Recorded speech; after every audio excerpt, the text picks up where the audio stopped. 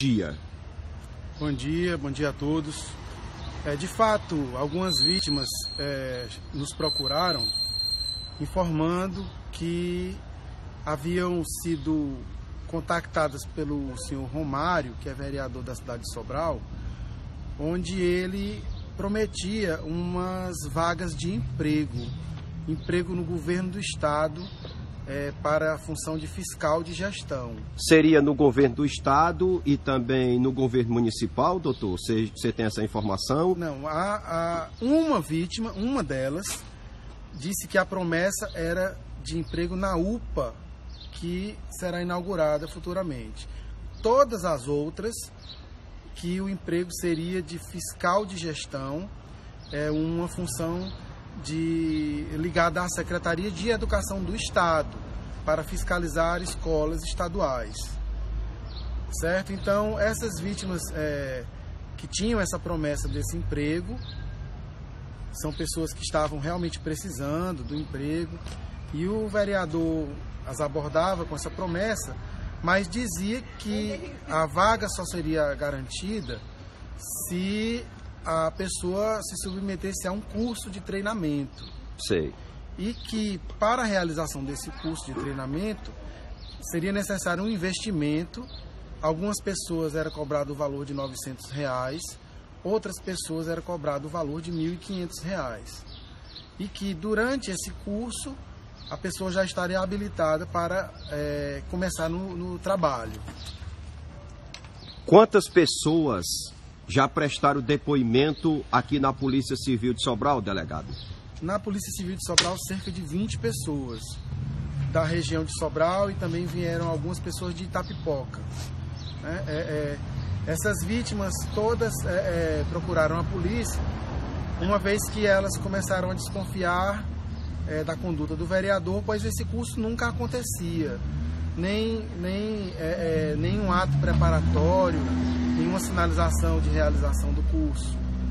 Então elas desconfiaram que poderia ser uma armação, que poderia não nada existir, nem curso, nem emprego, e vieram à delegacia. Certo. Isso já dura, já dura quanto tempo, doutor? A pessoa que é, é, é, prestou, de, prestou a, a, boletim de ocorrência chegou a dizer para o senhor, já estava com quanto tempo que havia essas promessas? Olha, tem vítimas que foram abordadas no mês de novembro de 2018, vítimas do mês de dezembro e vítimas agora do mês de janeiro de 2019.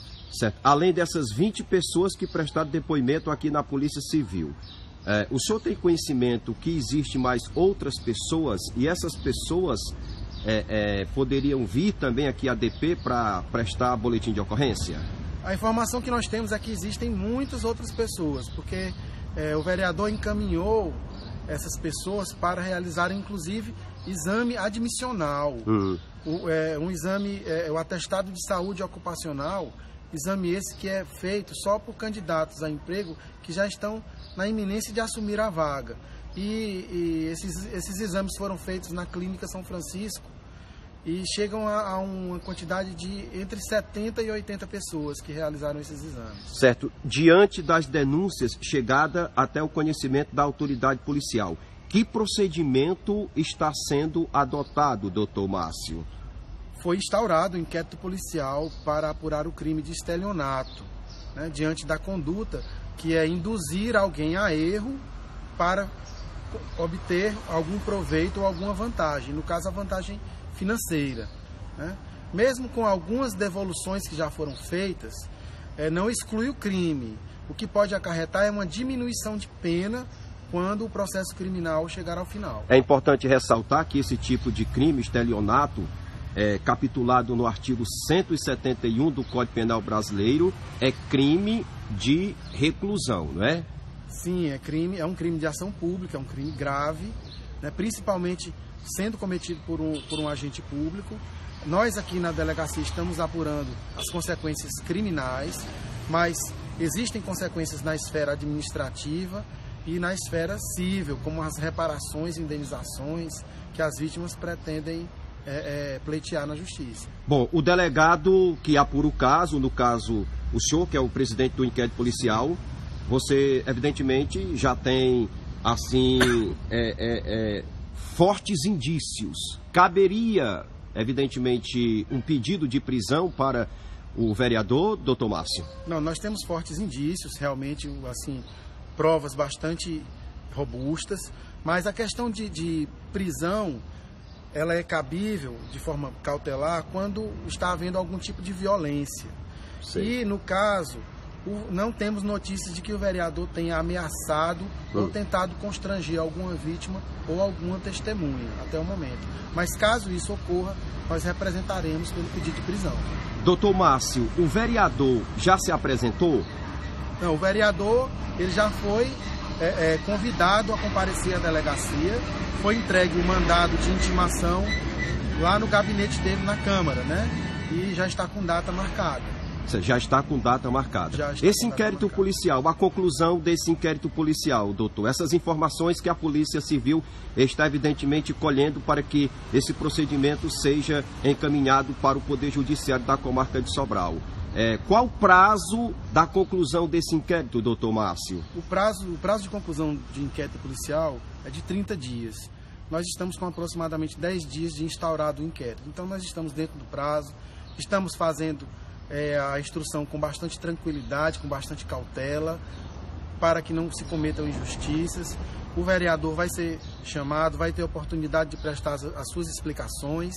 Então, de acordo com os fatos que estão dentro do bojo do inquérito, é que nós vamos formar o nosso juízo sobre o indiciamento ou não do vereador. Certo. Aí depois que tudo tiver apurado, com o depoimento das vítimas, depoimento do vereador, Aí você vai dar uma analisada para ver se, na verdade, faz o indiciamento, é isso? Perfeitamente. E uma vez feito o indiciamento, o resultado é encaminhado para o Poder Judiciário e para o Ministério Público para apreciação. Então, diante das denúncias que chegaram ao conhecimento da autoridade policial, aqui da Delegacia de Polícia, a Polícia Civil, a Polícia Judiciária, o senhor como delegado que está à frente das investigações, tudo está sendo apurado, doutor. Sim, está sendo apurado com muita responsabilidade. São denúncias graves, mas é, é, nós temos que ser, é, exercer o nosso papel de polícia judiciária e de garantir o direito dessas vítimas, né?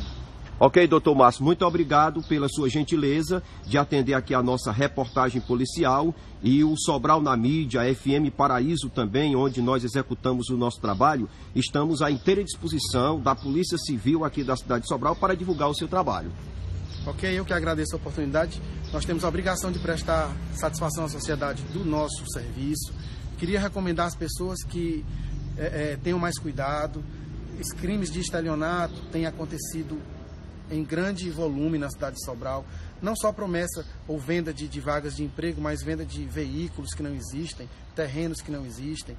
Tenha muito cuidado a, a, a, a, arma do estelionatário é a conversa bem passada, é uma proposta sedutora, onde a vítima enxerga, a vítima que já está vulnerável enxerga uma vantagem, uma oportunidade e é seduzida pela conversa. Então tenha mais cuidado, procure checar as informações, a, a origem, a procedência da proposta que está sendo feita para você. Só mais uma pergunta aqui: nenhuma dessas pessoas, ok, é, conseguiu essa vaga de emprego até o presente momento? Nenhuma dessas Não, pessoas? nem o curso foi realizado, hum. nem nenhuma vaga de emprego foi efetivamente oferecida. Doutor, posteriormente a gente pode conversar quando esse inquérito policial for concluído, tá bom? Perfeitamente, estamos às ordens. Um abraço.